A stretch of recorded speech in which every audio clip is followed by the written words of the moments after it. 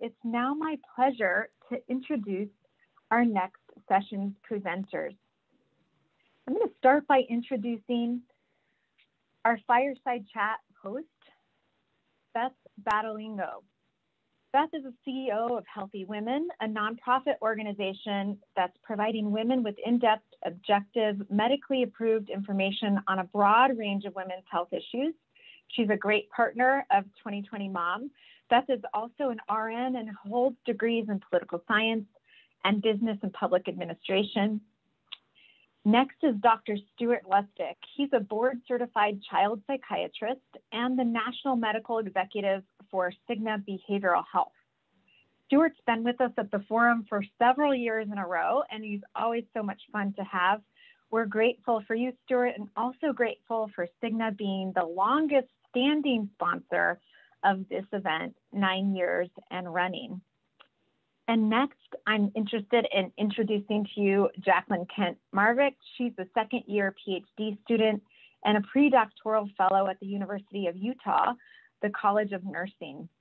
The focus of Jacqueline's research is on understanding how postpartum social networks influence health. And they're all here today to be talking about loneliness and resilience in the maternal population. We're so glad to have all three of you um, with us. And I'm going to first turn it over to Dr. Stuart Lustig, who's going to be presenting the research that Cigna has led in this space. So, Stuart, welcome to the main stage. Well, Joy, thanks so much. It is a pleasure to be with you all uh, yet again this year. I have such fond memories for our gathering last year in Los Angeles and uh, glad to be back, even though it is virtual this year. Uh, what a year it has been. Uh, I'm going to summarize very briefly, just as a kickoff really to this session, uh, some resilience research that we have been doing. And boy, what a time to think about resilience. Uh, Cigna, as a global health services company, has been dedicated to the health, well-being, and peace of mind of those we serve for many years now. And we're really interested in anything uh, that impacts the intersection of body and mind because we take a very holistic approach to health.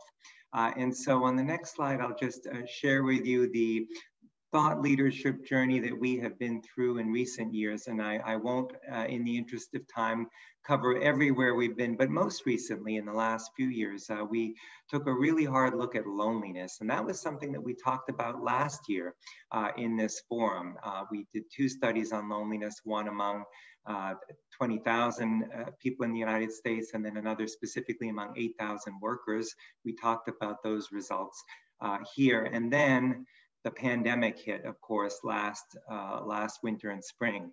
And so uh, we were all isolating, sheltering in place, quarantining, social distancing, physical distancing, only compounding the uh, difficulties with, uh, with loneliness. And so this past summer, we set out to study uh, resilience. And I'd like to show you on the next slide uh, some of what we found, because I think it has significant implications for all of us, particularly those of us who are new mothers or rearing uh, children.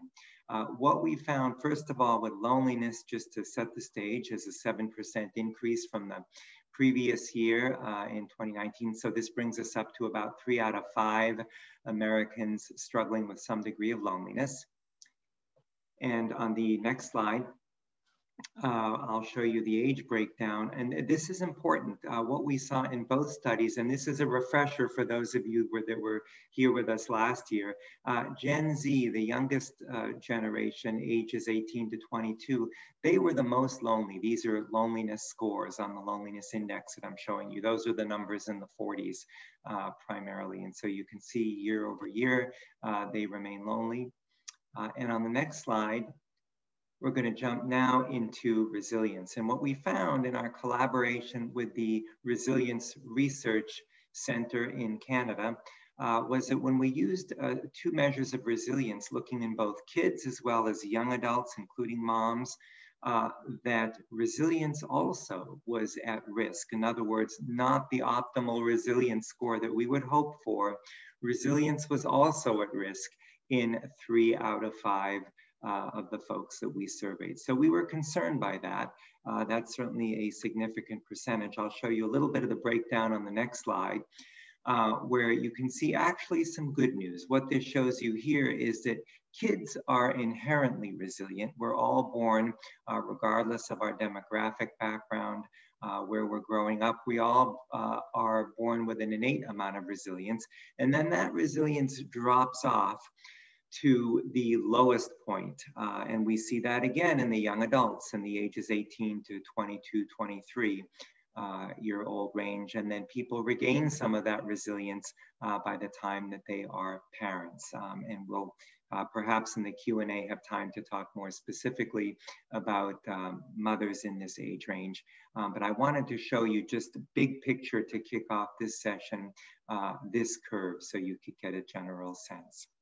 And on the next slide, uh, here you see that kids in particular are impacted. What we find is that uh, social media in particular seems to have an impact. Heavy, heavy users seem to be less resilient than those who are using resilient less, uh, using social media less. And this uh, makes a certain amount of sense because uh, what we also found is that the extent to which you are connected with your community, uh, with other people, with your parents, your teachers, your friends, uh, coaches, and so forth, you're more likely to be uh, resilient as well if you are connected with other people around you. Next, please. And here I just wanted to show you at the other end of the age range what's going on with workers. Most of Cigna's clients are large companies or smaller companies, and they're very interested in uh, the workforce. And so what we found is that uh, the more you are working, essentially, the more you are resilient. And uh, the less you're working, the less likely you are to report resilience. And because this was a cross sectional study, this one of 16,500 people across the United States, uh, we don't know which way those causative arrows are pointing. Uh, but suffice it to say that if you're in an employer uh, if you are an employer or working in a uh, large work environment, uh, there's the opportunity to impact the resilience of those who are in your setting. Uh, next. Uh, these are some of the other things that are associated with, uh, with greater resilience. Community, I already mentioned. Uh, so whether you're a kid in a school setting or someone who is connected with work or people in your neighborhood or your family, uh, your ability to connect with others means you're more likely to be resilient. And why is that? Well, it's probably because of the way we think about what resilience really is. It's the ability to uh, navigate towards the resources that you need to overcome adverse circumstances in your life. And many of those resources are going to be either other people or they're going to be resources provided by other people. So staying connected with others really does have an impact on, on resilience. Inclusivity and authenticity. We found time and again that the people who told us that they felt like they could be their true selves with their friends, with their coworkers. They didn't have to hide who they were that was associated with greater resilience. And uh, finally, those who felt aligned with their company's mission, they felt like their company was bringing greater value to the world, they were making a, a meaningful contribution at work, uh, those folks were also more resilient as well. So I'm going to leave you here on a positive note. Uh, in the interest of time, uh, we'll skip over uh, the additional slides and come back later in the Q&A as we have time. And so again, I'd like to say how delighted I am to be back with all of you again this year and looking forward to uh, chatting with you some more in the Q&A. Thanks, Dr. Lustig. That was great. Um, do we have uh, my slides by chance? Well, I'm they excited. are coming right back up right now, Jacqueline. Okay. Thanks for bearing with us. Thank you. I'm very excited to be here. This is my first time, and I'm jealous that I missed you all in Los Angeles last time, but hopefully we'll, um, we'll get to be back together again next year.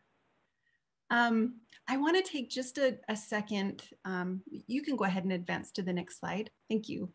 And um, touch on why I think this is an important topic, perinatal loneliness. Um, we have abundant evidence that our social relationships are important to our health.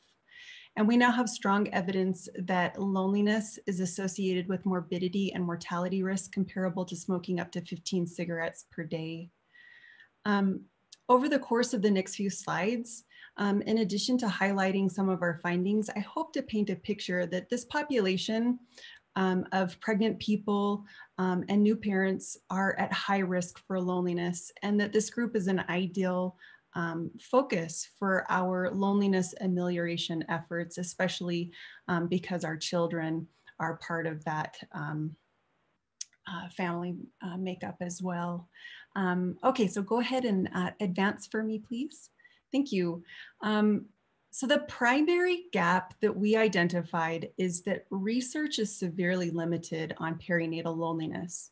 Just 32 of our 131 articles met inclusion criteria, and we kept our inclusion criteria pretty broad so that we could capture um, loneliness when it wasn't a primary target of study. Um, so in 32 of the articles, um, 32 of the 131, it was a primary focus of study. And in the rest, um, the 99 uh, remaining studies, um, loneliness emerged from the participants as a um, topic that was important to their health and relevant to um, the research topic. Um, so that, that was interesting. Um, I want to uh, take just a second to highlight this first article that crops up in 1964. Um, it was published in an issue of Nursing Mirror uh, by a uh, woman named A.H. Kane, who was a nurse and home health visitor with a sociology degree. And in this article, she discusses the loneliness of young mothers that she worked with. She describes uh, first time mothers as being at particular risk for loneliness, and she discusses a number of um, considerations for addressing this issue. She primarily argues for um, the use of home health visitors as um, they're well positioned to identify loneliness in um, the people that they work with. Um, you know, she she illustrated how um, uh, home health visitors uh, take time to establish a relationship and understand where um, these parents are. So um, the um, the help that they provide, the recommendations that they provide really are tailored to those parents. Um, so despite its publication date, it really struck me as very timely, especially in light of the complexities of the pandemic.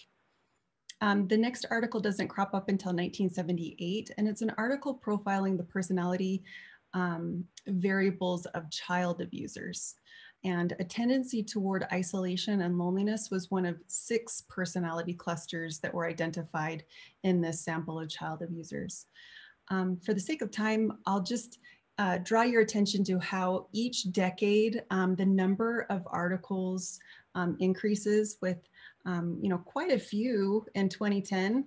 And if you look at the, the last line, that lightest blue line, that's 2020 alone. There were 21 articles in 2020 alone, and that's nearly one third of the articles in the entire decade before.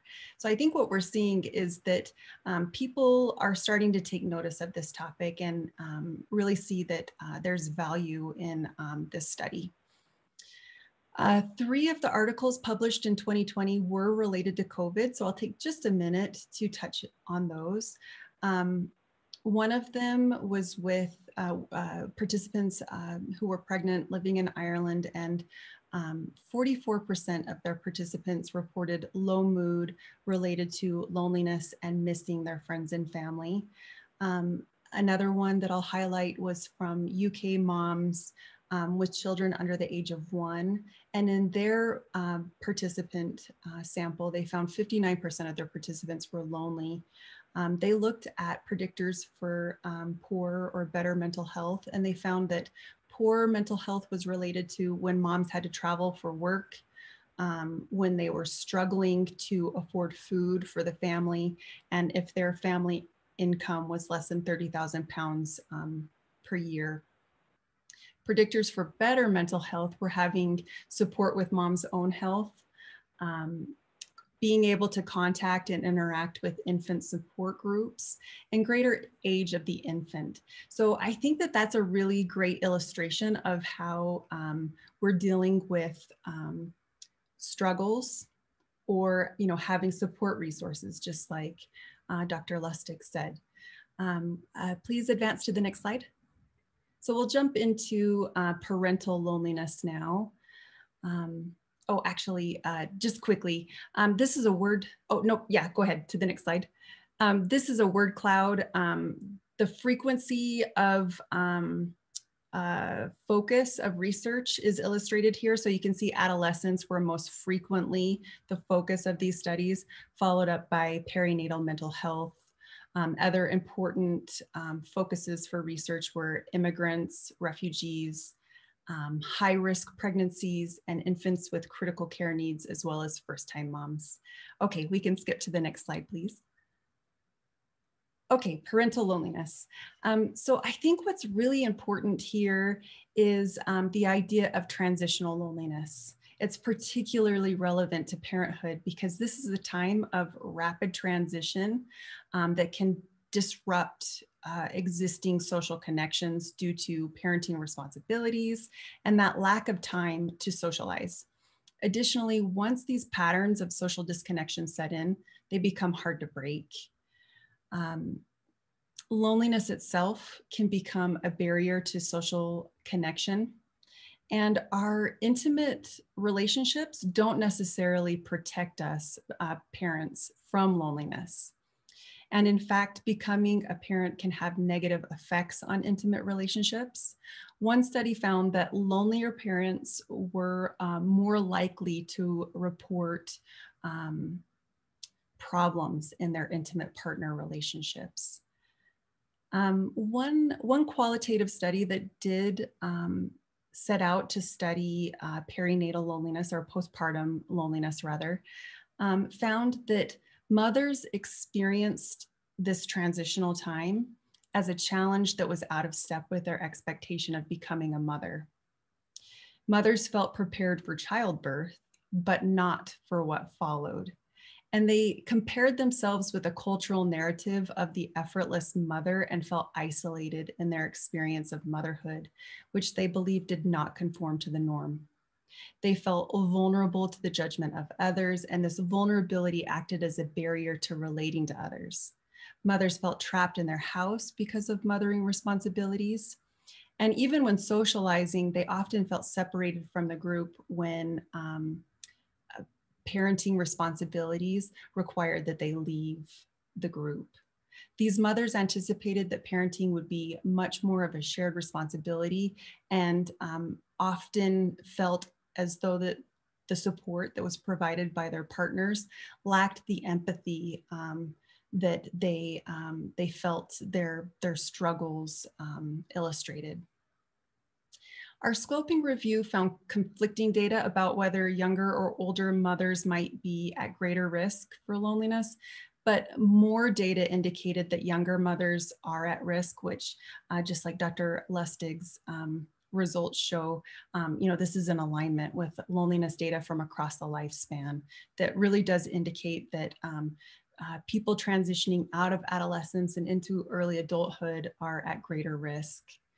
And um, relating to protective factors, and again, um, really in alignment with Dr. Lustig's um, resilience findings, um, there was one, uh, just one social network analysis study um, uh, looking at the postpartum period. And when I say social network, I don't mean social media, but I mean the network of relationships around mom. So, family, friends, community members um, that surround uh, the new parent uh, found that network cohesion or density, stay with me for just one sec, was protective of loneliness. And what we mean by density um, that refers to the degree to which people within that network are connected with each other. So not just to mom, but they have relationships with each other. And the author found that this um, the authors of this study um, believe that those high density networks contribute to a sense of belonging and community for the new mother. And they also hypothesize that these networks may provide coordinated support and resources that less dense networks do not provide. Um, advance to the next slide, please. So looking at perinatal mental health, our quantitative studies have shown that loneliness has a direct effect on postpartum depression and mother infant bonding, and that loneliness is significantly higher in depressed than non depressed um, people. Uh, depression, rather than loneliness, has more frequently been studied as a focus of qualitative study. And this is really where the bulk of our qualitative results came from, was from those postpartum depression um, studies. Um, what, what we found is that um, people with postpartum depression frequently feel as though their communication attempts fail, um, resulting in these people further isolating themselves from their social connections. Um, feeling rejected in these communication attempts self reinforces loneliness and feelings of alienation, um, resulting in um, their feeling dissatisfied with their social support's ability to help them in their time of need. Um, and often they even stop trying to um, communicate um, altogether out of a sense of guilt for their depression. Um, participants from these studies frequently shared that what they need most to help them with their depression would be the ability to talk to other people who had experienced sim similar feelings of depression. This type of interaction with others with shared experience affirms that people are not alone in their struggles and that they are strong enough to work through it together.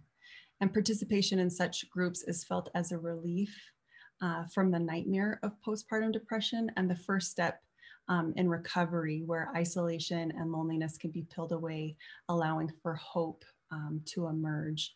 Uh, next slide, last slide, I promise.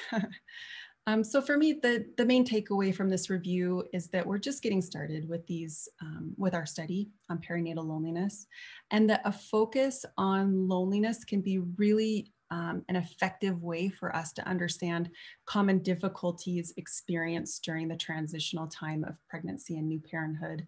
And additionally, as we see that burden load, um, you know, increased struggles, um, those people become um, even more at risk for loneliness. So I'm looking forward to our conversation now, and I apologize if that took a little bit, a few minutes longer than it should have.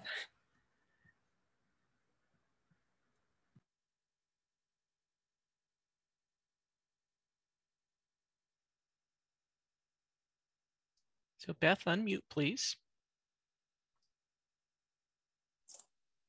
Sorry what I was saying is thank you both for such great slides and commentary. Um, and I look forward to uh, today's conversation. At Healthy Women, we know well being as at the is at the core of health, and women are at the core of our homes and of and society. So I am truly honored to be leading the conversation today with you. So the first question is for both Dr. Lustig and Jacqueline. This population was already at risk for loneliness. Why is that? And how does technology play into things? Who wants to go first? I'm happy to, or if you if you're poised, you can go right go right ahead, Jacqueline. You've got okay. the floor, and then I'll uh, try to think of something intelligent to say after. oh dear, um, I think I think the transitional aspect really helps is, you know, it helps explain um, why loneliness is prevalent in this group. So when, um, when we talk about transitional loneliness, um, it's a type of loneliness that occurs during uh, rapid transition in life. So it's often associated with um, the death of a loved one or um, the transition to college, things like that, where really overnight our life um, completely transforms. And obviously, uh, becoming a parent is, you know, in, firmly in that category. Um, so I think it's just it's it's wrapped up in um, life is going along at a normal pace. There's lots of uh, repetition and and normalcy and then all of a sudden all of our routines have changed and it's part of those struggles. Um, as far as uh, the technology piece goes, I'm interested to see if Dr. Lustig has something more yeah. intelligent to say than I do. But just from the, the literature that I've read, it seems like moms prefer the uh, face-to-face, you know, in-person um, interactions when possible. But when tying this back to loneliness, the most important piece, and this relates to technology also, is that um, moms are able, or uh, parents are able to connect to people that they um, uh, feel like they connect with. Mm-hmm. Um, when uh, competition or um, you know feelings of, of disconnection enter that picture that can really increase the loneliness and feelings of um, social alienation so I'll add on to that. And by the way, first names are fine all the way, all, all around, although I certainly appreciate the, uh, the respect and the good intent. So uh, look, I'll, I'll, comment first of all from a personal perspective, and then I'll talk about our data on this. Uh, as you look at me, you probably don't imagine, couldn't imagine that I have a four-year-old at home um, but I do. I know I just don't look old enough to have a four-year-old, but I do. And uh, I can remember when when she was first born, and as often happens in most cultures, the relatives descend. Everybody comes over. Everybody's helping. Uh, and then after a few weeks or a couple months or even longer, depending on the culture, uh, everyone goes away and it's you and the baby. And the most important piece of technology at that point, uh, which links you with another person, is the baby monitor. And that's not a great antidote for loneliness. It's certainly a good uh, solution to take care of your kid in another room, uh, so you don't have to be in the whole room the same time. But, eh, but it is uh, not the antidote to loneliness. So what we learned in our loneliness studies uh, was that uh, it's actually fairly complicated, uh, so, but I'll, I'll, try to unpack a little bit with uh, what we asked about in terms of technology was essentially about social connectedness through various social media platforms, uh, whether it was Facebook or, or Twitter or others. And uh, at first pass, it appeared that there was no association at all of, of, heavy or light social media use and loneliness. It just didn't seem to matter. Well, then we looked a little bit at a more granular level.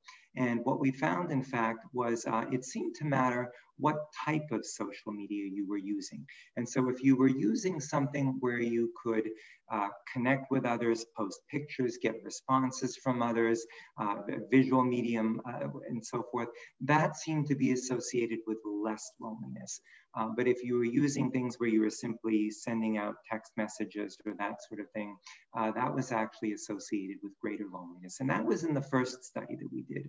Uh, in the second study, uh, looking at workplace loneliness, um, it got a little bit more interesting because what we found is that heavy use uh, in general was associated with greater loneliness. Now, in the first study, only those people who identified themselves as using social media too much were lonelier. Um, whereas in the second study, it was more of a, an absolute, are you using social media a lot or not? Uh, and so there was uh, more, a bit tighter of a connection, I would say. Uh, and then fast forward to the resilience study that I just talked about, where again, we see people who are heavy, heavy users seem to be uh, less resilient. So I think uh, that is the connection with technology that we need to be careful about. So it's a great way to keep people connected potentially if you're not overusing it. And so uh, you know, here we are all on a Zoom call together to be able to connect up. And, and if it weren't for uh, this kind of platform, it would be hard to have this meeting. Uh, then again, the meeting before this I had, I kept myself off of camera just so I could move around and stay limber and, and you know, have some, have a chance to, uh, you know, maintain my own uh, composure without getting too videoed out basically before going into this call. So it's, it's that balancing act, I think, uh, that we need to think about with social media, with, with uh, technology in general. Agree. So Dr. Um, Dr. Lustig, as a child psychiatrist, what do you think of resilience in mother parents and the impact on infants and children? Uh, well, that is a um, really good question. I'm going to uh, mop my brow as I think about it for a second. So, the fireplace behind me is really warm. I don't know if you guys are all getting warm too from the heat, but boy, this you know these uh, springtime fires are, uh, can heat us up. So let me tell you a little bit about resilience. And I'm, I'm glad you asked that, Beth, because we didn't have time to get into it uh, initially, but we did take a look at our data on resilience, particularly for mothers. And what we found, and then I'll qualify these, these uh, findings, is that resilience, uh, mothers between the ages of 18 to 45 uh, seem to have, uh, were less likely to have high resilience compared to uh, women in general of that age. So there's something about motherhood that is uh, potentially risky, and they and also their physical and emotional health was a little bit lower as well.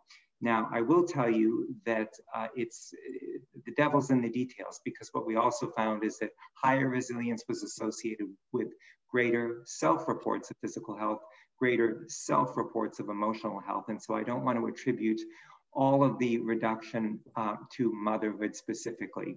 Uh, the other qualifier is this is a broad age range. So uh, when we put together these stats uh, in preparation for talking with all of you today, uh, what I realized in thinking about this is we actually need to dig a little bit deeper because wouldn't it be possible that if you have a child at 18 uh, that might be a very different experience where you are already at risk for low resilience, as we talked about with that resilience curve, than if you have a, a, a, child at 25 or 35 perhaps, or even older, where there may be other potential risks to uh, resilience uh, or, or mental or physical well-being. So it's complicated, um, but that was our uh, initial first take on the data. One other thing I'll just add though, Beth, is that um, working mothers who were uh, well, it, put it this way, if you are a mother between that age range, 18 to 20, uh, 18 to 45, but you are also working, that was associated with higher resilience. And it's a really interesting question to know how much of that increase in resilience is attributable to motherhood or to working, because we know that working in general, as I talked about earlier, is associated with, uh, with greater resilience. And I, I think about the, uh, I mean, it's like being a super parent, right? To juggle, and especially all of us today in the midst of the pandemic, that much harder to uh, balance working and and parenthood and caretaking in general. And you have to have a certain amount of resilience in some ways to to make all of that work. So, uh, long-winded answer because the data is fairly complicated, but really interesting issues to uh, to look at to talk about. Um, so, for both Dr. Lustig and Jacqueline, what are some of the strategies we can encourage moms to take personally to reduce loneliness and increase resilience? Jackie, do you want to go first? Jacqueline, do you want to go first? Sorry. Yeah, I um, I'm glad that you posed this question because I think that there's something um, there's something to be learned from feelings of loneliness. Um, uh, a usefulness both for parents and for clinicians um, I think that um, when we can when we can take a moment to really appraise our feelings of loneliness, that we can we can learn things from that. So um, if if you can think of a, a time um, recently when you felt lonely, I'll um, encourage you to you know try to dig into that for a minute. Um, when you start um, you know you can think of this almost like a, a, a mindfulness uh, type of practice you know tapping into that loneliness that feeling those feelings of loneliness and and looking at what's going on there um, we can start problem solving through that. So let's say that um, you know as as you look at that um, recent feeling of loneliness you identify that you are struggling with something alone. So you can look at that first from the perspective of struggling. Well what what am i struggling with? You know and and check in with yourself there and and try to really identify the boundaries of that. And um, i think that's where you know resilience comes in because um, you know resilience is that ability to be um, level headed in life and and to have some perspective. Um, so you know first we're identifying you know what our struggles are. And then the second part of that is alone. Like why do you feel like you're struggling with that alone? Um, is it because you feel like you don't have um, someone who will understand your perspective um, is it because you feel like you don't have somebody that you can go to as a resource that can give you advice um, or maybe it's because you feel like you have no one in your um, social network who um, who will understand what you're going through. And so I think it's you know that first step of really understanding what's going on that can be um, important and valuable both as a parent to try to take um, you know a little bit of ownership of what's going on and then also as a clinician to try to to get in there and to help in a meaningful way. Perfect. Dr. Lustig? Wait, it's, it's hard to improve upon what you just said, Dr. Kent-Marvick, but I will try. you know, I, I, think you know, it's useful to think of loneliness uh, really as the cognitive construct which it is. Um, and so the clinicians in the audience are going to instantly understand this, but it's really about uh, wanting something different, believing you should have something different from what you have in your life. The idea, you know, so there's nothing wrong with being uh, solitary if solitude is what you are seeking in the moment right? It's, it's it's it's really loneliness is a definition that's based on the belief that you should have more people in your life or that you should have different types of relationships deeper relationships uh, with people in your life. And so uh, you know following up on the idea of uh, social networks for example one of the things that is so powerful about that is it can potentially uh, connect you with the type of person or the groups of people that you think you ought to have. And I can tell you personally, uh, you know, as we've raised our daughter, uh, there have been times, less so now, but certainly, you know, in the uh, peripartum period, first year of life, where it was vital to have uh, connections, uh, be it in person or online with, uh, I live in San Francisco, uh, you know, Bay Area mothers or uh, networks like that, just to be able to ask questions, connect with others, suffer together, succeed together, really have the opportunity to be with others when, when it mattered most. And so I think um, the advice for clinicians here is to very actively explore with clients, with patients, how they can build that in their lives. And part of it is the therapeutic relationship. So there's no doubt that when someone is sitting with you as a clinician, uh, even if it's on a screen, you are connecting and you are providing a very important uh, type of interpersonal interaction that has real, uh, real staying power. I would never underestimate uh, the importance of the connection that clinicians have with uh, with patients when they're sitting there. But but but potentiating that, helping them to build even beyond that, skilling them up essentially, uh, so that they can find those things uh, in their own lives. That kind of uh, activate and activating that needs to happen is is something that can be very powerful for people. And so this question is for both of you. And Jacqueline, I'll start with you first. What about universal policy changes, like changes in laws? Are there any opportunities here? Well, um, you know, the UK has been doing some really interesting things for a few years. So I think they're a good place to, to look. But I was um, so excited to learn last fall um, uh, that we in the US, we have a um, coalition to end social isolation and loneliness.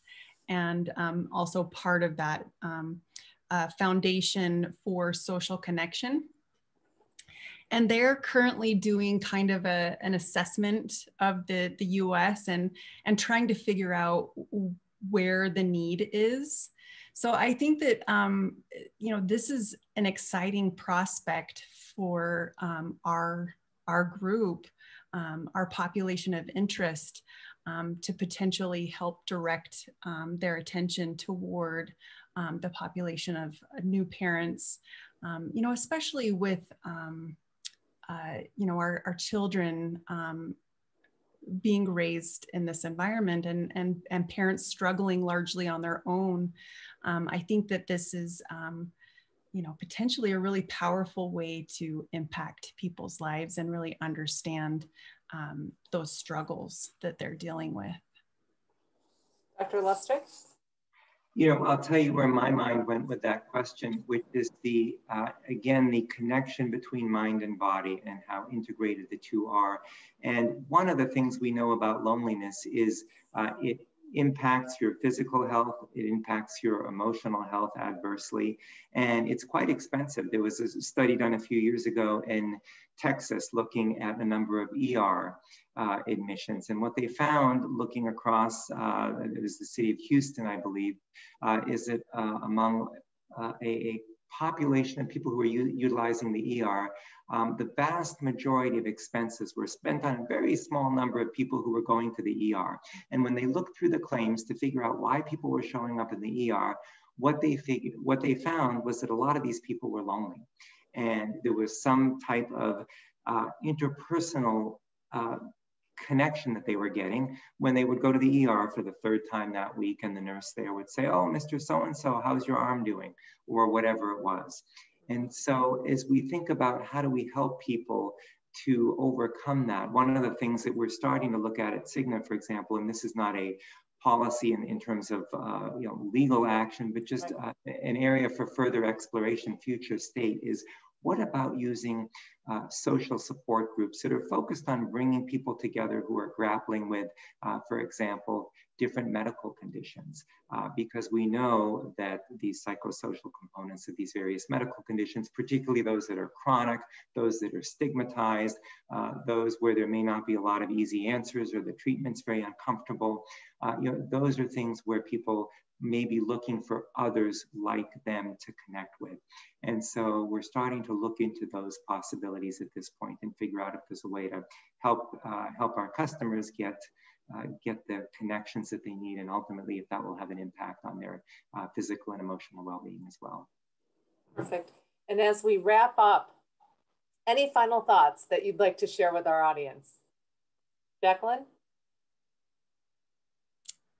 I I don't know if I have any. Um, uh, I I just I really appreciated getting to talk to you both, and get uh, you know to get to share um, this important topic too with the group. Thank you.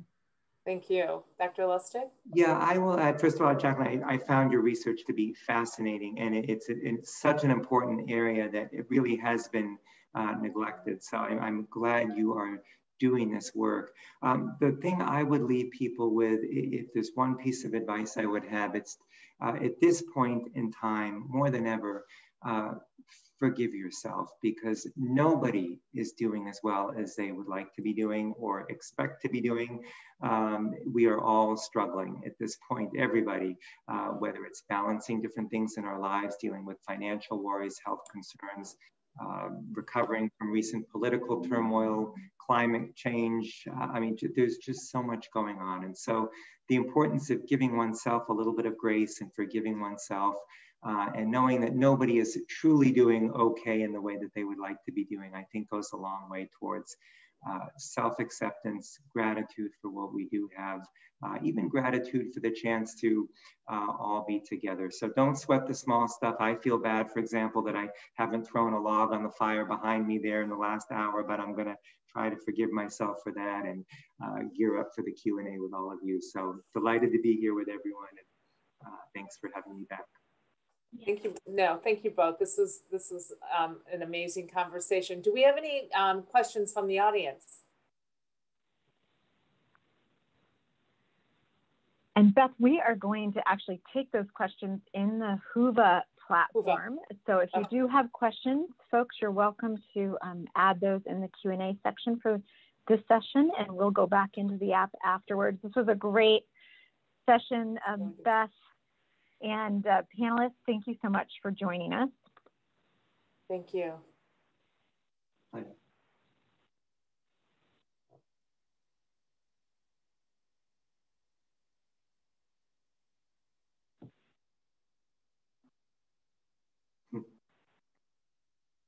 I like the uh, feed the fire when you can uh, comment there. You can take your time. And take your time, that's right. Lovely. That was very, very poetic. I really appreciate that.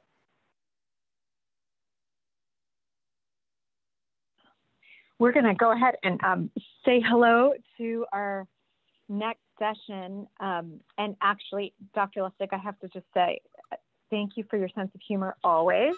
Uh, always so fun. And, in case anyone was wondering if um, uh, where the, the idea for the fireside chat background came from, it was Dr. Lustig. So Dr. Lustig, thank you for the great idea. We were getting My some pleasure, comments about how fun that was. So thank you all. What um, a great session on sort of the cutting edge research on loneliness and resilience, maybe more important than even understanding loneliness as uh, resilience factors.